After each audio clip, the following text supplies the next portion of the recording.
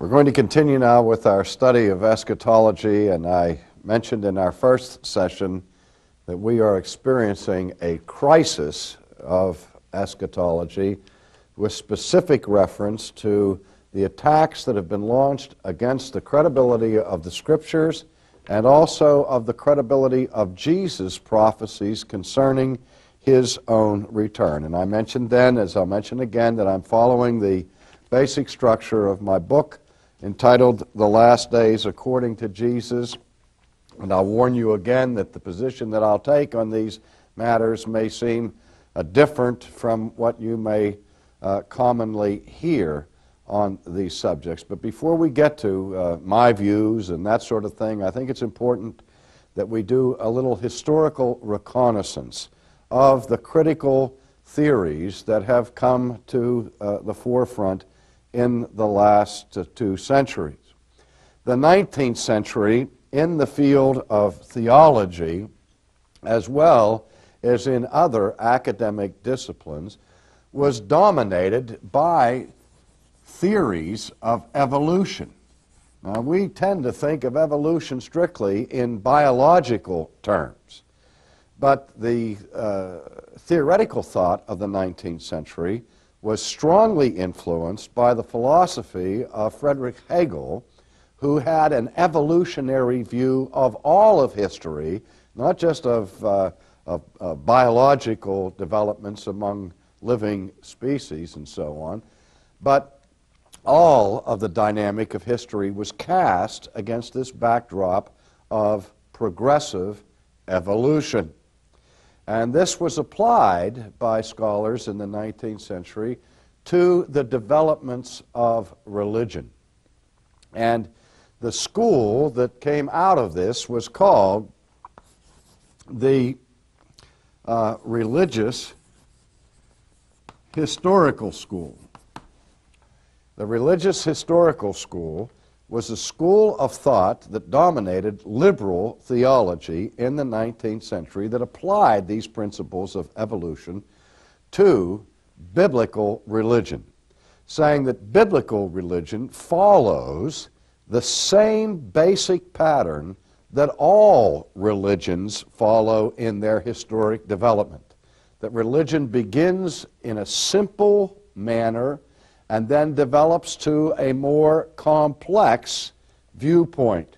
It begins in animism with a view that uh, uh, supposedly inanimate objects are inhabited by spirits, usually evil spirits, and then you develop from that into uh, polytheism and henotheism, and finally, in a later time in history, you see the emergence of full orbed monotheism.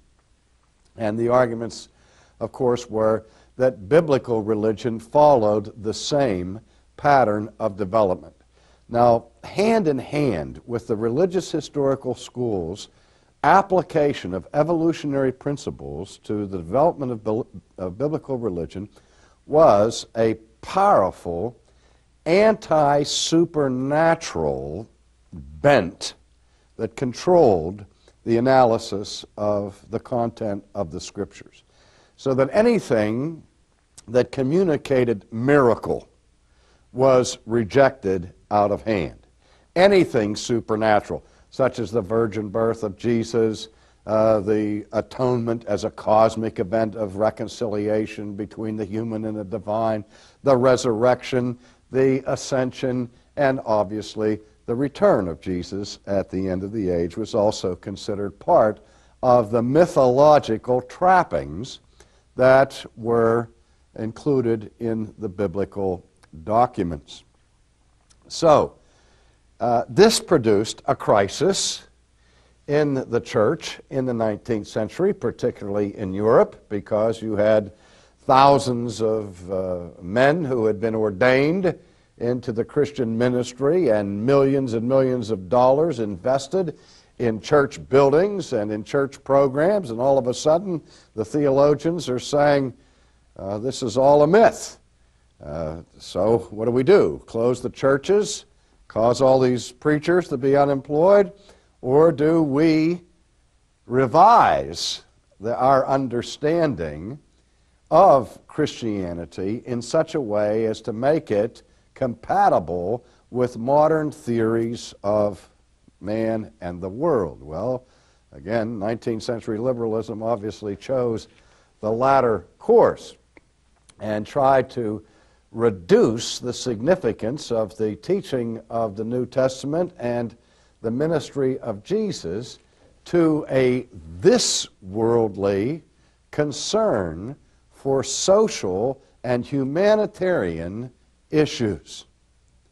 That the kingdom of God, which was the motif that the biblical scholars understood that unified the Old and the New Testaments, that that central concept of the kingdom of God, which is announced as coming as at the beginning pages of the New Testament with the advent of John the Baptist, who called the people to repentance because the kingdom of God was at hand, that these scholars sought to redefine the meaning of the kingdom of God in terms of ethics and values.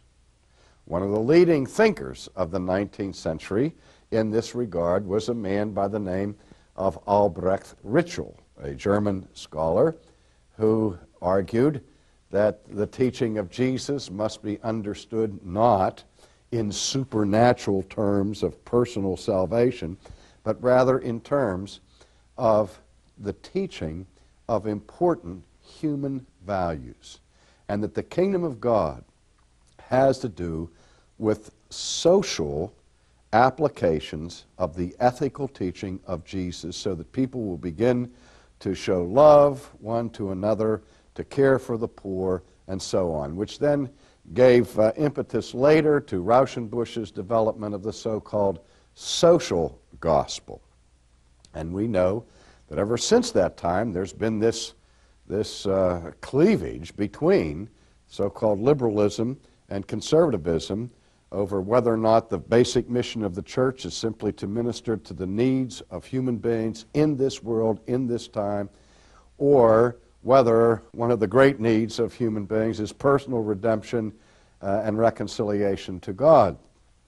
Uh, when I was a student in seminary, I studied theology for a while under Dietrich Ritschl, who was the grandson of Albrecht Ritschl, the German theologian of whom I've just mentioned.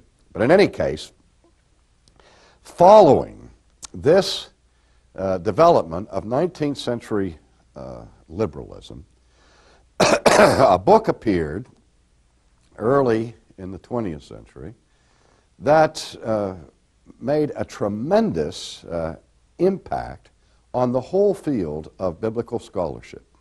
And it was written by a very famous man, Albert Schweitzer. And we know of Schweitzer because of his uh, career as a musician, as a superb organist, and also as, uh, as a missionary, probably one of the most famous missionaries of all time.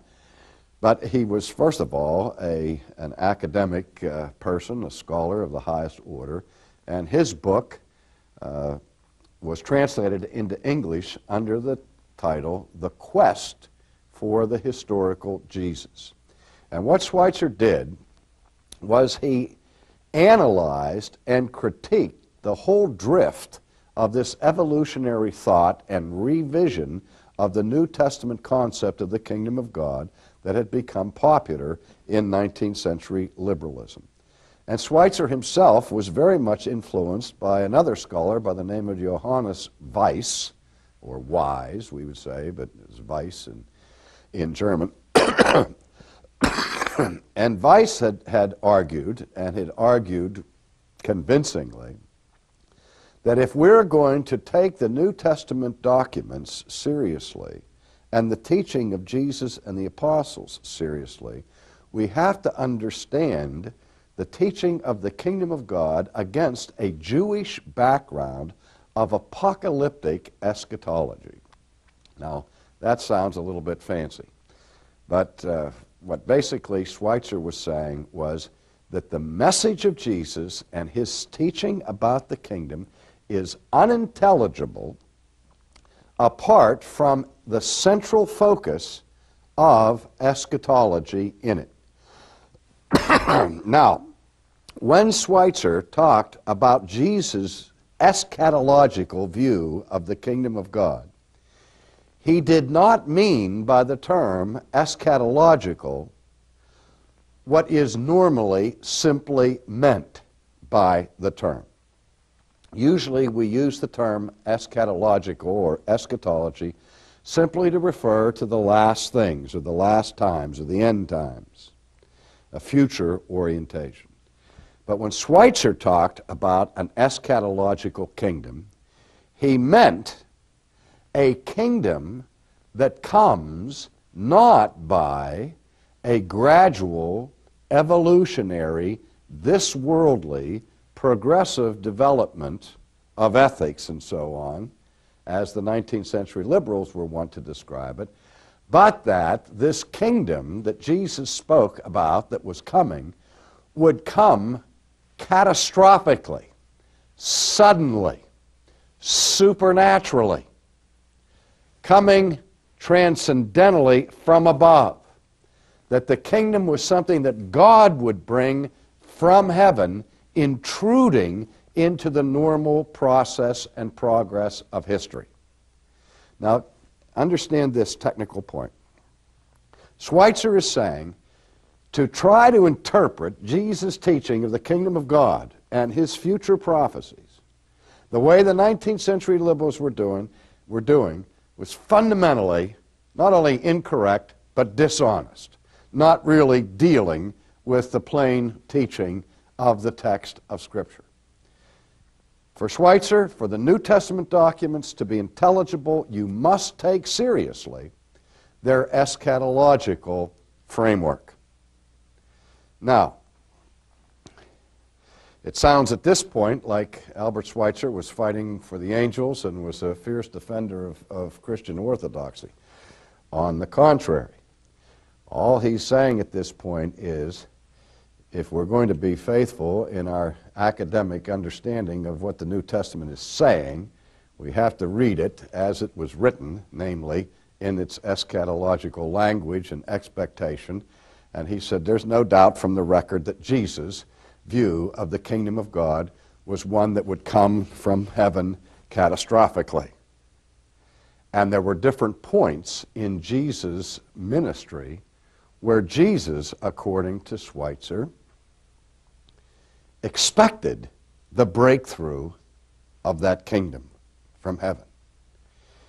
According to Schweitzer, first, for example, when Jesus sent his 70 out to the various villages and towns of Israel announcing the kingdom of God, he expected that God would act and bring the kingdom to pass at that time.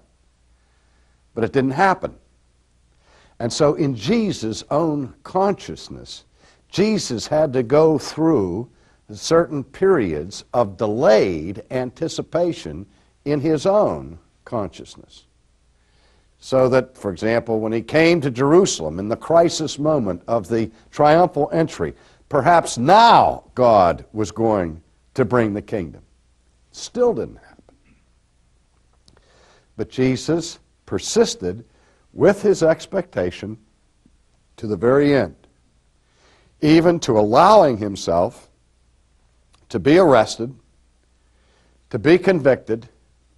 And you remember he spoke about, you know, you can't do this except I let you do it. I can call on legions of angels and they could save me, but he doesn't do it. He waits for God to intervene and intercede and to bring the kingdom. But finally, in his last moments on the cross, Jesus realizes it's not going to happen. And he cries out from the depths of his own agony and disillusionment, My God, my God, why hast thou forsaken me? And Jesus dies as a noble figure, as a great teacher who embodied the gospel of love, which Schweitzer sought to uh, to preach around the world. But he died in disillusionment about his own expectation of the coming of the kingdom of God. Now, the value of Schweitzer is, of course, since Schweitzer's work, it's been next to impossible for serious scholars to treat the teaching of the New Testament and the teaching of Jesus and not realize that it is couched constantly in eschatological language. That's the contribution Schweitzer has made to this crisis. Of course, his the downside is, though he argues for the eschatological centrality of Jesus' teaching, of course, Jesus was wrong, and he ended in disillusionment. Then he speaks of what is called, in academic parlance, the parousia delay. That not only did Jesus have to delay his expectation of his coming and the manifestation of his glory, but the early church had to go through this same process of parousia for trog or, or delay, so that as time passed, the church had to make all kinds of adjustments to allow not only for the failure of the kingdom to come in Jesus' lifetime, but then the failure of Jesus to return in their lifetime. Which brings us now again to this question that we uh, set forth in our first lecture about the time frame references of the coming glory of Jesus. Now, not everybody rolled over and played dead with the uh, negative uh, conclusions of Schweitzer. Uh, scholars uh, came and tried to speak to this concept of this parousia delay, and one of the most important was a British scholar by the name of C.H. Dodd, who wrote on the Gospel of John and, and on the parables of Jesus, which are uh, focused on Jesus' teaching about the kingdom of God. You know, in the parables, he'll say, The kingdom of God is like unto this, the kingdom of God is like unto that, and so on. C.H. Dodd is important for developing uh, what was called realized eschatology. Where Dodd sees that, for the most part, the predictions of Jesus, Dodd takes to have reference to a time frame of the first century. And he assumes that we have to take seriously those time frame references of the nearness of the coming of Jesus.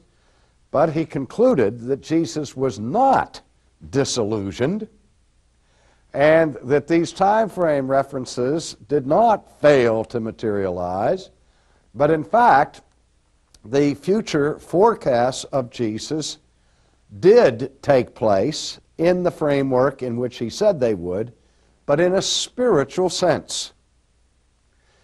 For example, we go back to those uh, three texts that were so problematic. You won't go all over all of the cities of Israel until uh, you see the Son of Man coming in power. Well, the disciples did see the Son of Man uh, being manifested, the kingdom of God being manifested, because in the New Testament the, uh, there are clear references to the presence of the kingdom of God. When John comes, John says, the kingdom of God is at hand.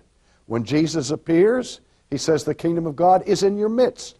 Jesus said, If you see me casting out Satan by the finger of God, then you know that the kingdom of God has come upon you. So that the very presence of Jesus was a manifestation and a coming of the Son of Man in his kingdom. Not only that, some of you standing here will not taste death until you see the Son of Man coming in power.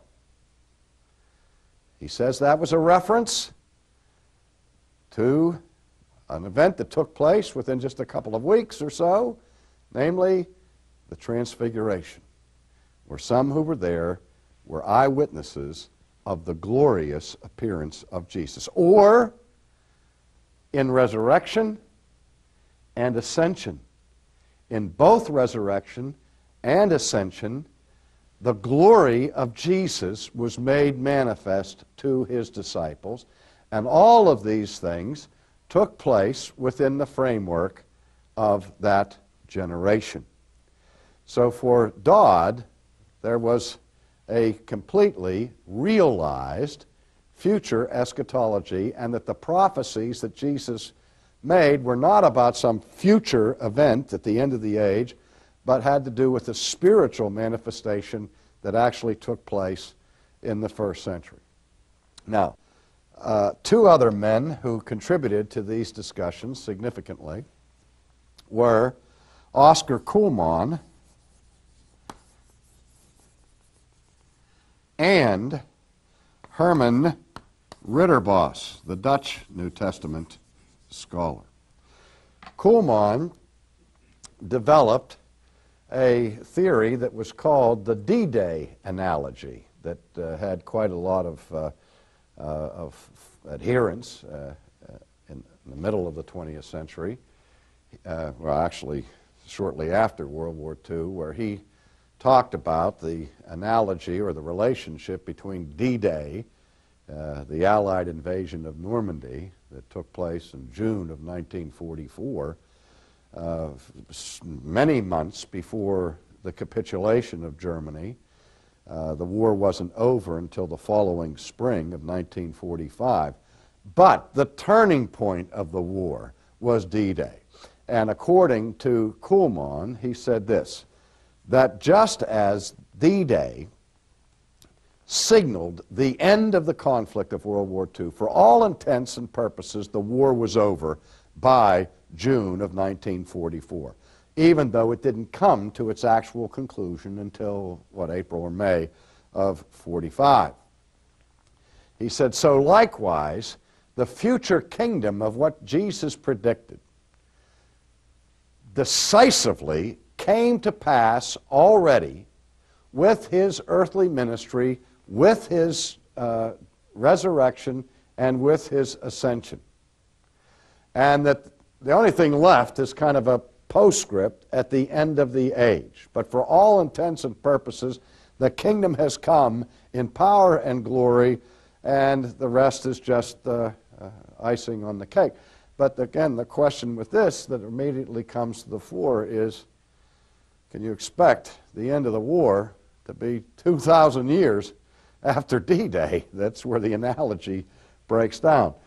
Herman Ridderbos takes a similar position, and he developed the concept in Dutch of what's called the als and the nog niet, or the already and the not yet, in which he says if we're going to understand the New Testament, we have to see that the kingdom of God has already come in large measure. There is an alls to the kingdom of God, an already.